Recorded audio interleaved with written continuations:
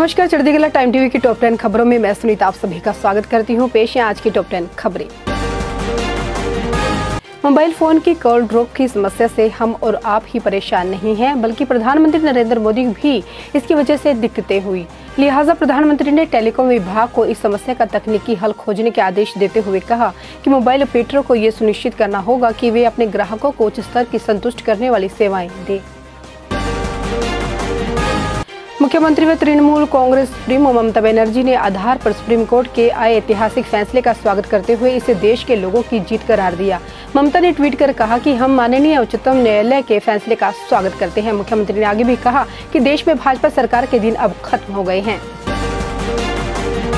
इस्तीफे के अटकलों के बीच संकेत मिल रहे हैं कि प्रदेश अध्यक्ष पद पर फ़िलहाल अजय माकन ही बने रहेंगे। अलबत्ता उनकी मदद के लिए कार्यकारी अध्यक्ष व उपाध्यक्षों की एक बड़ी और मज़बूत फौज खड़ी की जा सकती है। हालाँकि अब कोई भी निर्णय श्राद्ध पक्ष के बाद यानी नवरात्र में ही होगा। मस्जिद में नमाज़ पढ़ना इस्लाम धर्म का अभिन्न अंग है या नहीं, इस बात का फैसला सुप्रीम कोर्ट करेगा। इस केस में दोपहर दो बजे फैसला सुनाया जा सकेगा। अयोध्या राम जन्मभूमि मामले में चीफ जस्टिस दीपक मिश्रा की अध्यक्षता वाली तीन जजों की बेंच ने इसी साल 20 जुलाई को इसी केस में अपना फैसला सुरक्षित रखा था। कश्मीर घाटी में आज श्रीनगर शहर के नूर भाग से लेकर दक्षिण कश्मीर के कांजीगुड़ और सेंट्रल कश्मीर के पांजन बड़ग्राम में तीन अलग अलग मुठभेड़ों में एक आतंकी और एक नागरिक समेत दो लोगों की मौत हो गई, जबकि एक सैन्यकर्मी घायल हो गया। भारतीय जनता पार्टी के राष्ट्रीय अध्यक्ष अमित शाह आज हरिद्वार पहुँचेंगे। शाह दो दिवसीय हरिद्वार प्रवास के दौरान पितांजलि योगपीठ के आचार्य कुलम के नए परिसर में उद्घाटन समारोह समेत विभिन्न कार्यक्रमों में हिस्सा लेंगे।